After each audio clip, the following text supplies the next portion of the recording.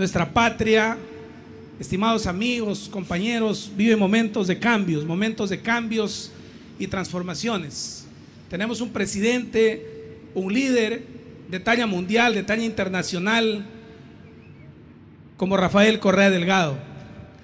Y nuestra provincia se ha insertado en este proyecto de cambios y transformaciones. Y tenemos un liderazgo claro, un líder popular, ratificado en las urnas permanentemente, que unifica,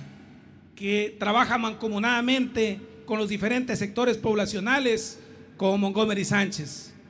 Y tenemos liderazgos cantonales, gobiernos cantonales y parroquiales y líderes comunitarios comprometidos con los cambios y las transformaciones. Cuando esos cambios y esas transformaciones significan equidad, justicia social, profundizar en mejores espacios del buen vivir para nuestra gente, es que nos sentimos contentos, nos sentimos satisfechos, nos sentimos con la confianza necesaria de continuar y profundizar y aportar desde este pequeño pedazo de tierra, desde este pedazo del Ecuador profundo como es Piñas, como es Saracay, como es Panupali, desde aquí también hacemos patria, desde aquí también podemos aportar con nuestra modesta capacidad, pero por sobre todo con voluntad de servicio, poniendo por delante siempre lo colectivo y yéndonos sobre el individualismo que campea, sobre los intereses particulares, sobre los intereses de grupo, dentro del ordenamiento jurídico, constitucional y legal, siempre poniendo por delante lo colectivo, es que de aquí también podemos hacer patria. Por eso, amigo prefecto, estimados conciudadanos, esta planta de asfalto, esta inversión de 5 millones de dólares, este asfalto que evitará el polvo y el lodo, el polvo en el verano y el lodo en el invierno, que siempre nos ha asolado y nos ha azotado, va quedando en la historia, en esa historia y en ese pasado de oprobio, porque no es de ahora, porque este proyecto tiene que continuar, porque en una década o en dos no se puede superar un abandono de más de dos centenas de años en los cuales los grupos de poder, los sectores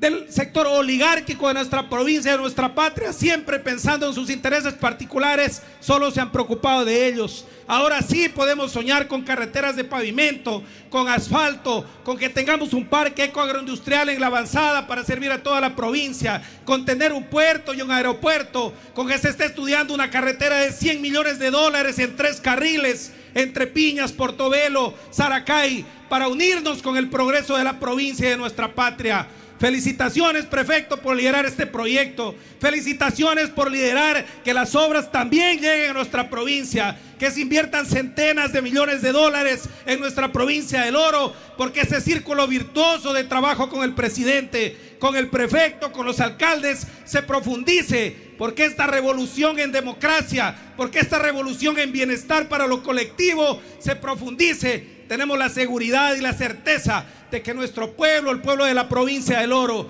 tenemos la certeza de que el pueblo de los cantones, de las 49 parroquias, de los 14 cantones, van a ratificar el apoyo al prefecto, al presidente, a los alcaldes de la 3570, a los alcaldes que están y a los presidentes de gobiernos parroquiales y al prefecto que están por el cambio, la transformación, por la equidad y la justicia social para nuestra gente. Esto es esta planta de asfalto. Desarrollo, progreso, obras y servicios para gente. Muchísimas gracias a todos y nos sentimos pletóricos de alegría, contentos y felices porque esta planta significa desarrollo para nuestro pueblo y mejores días para nuestra gente.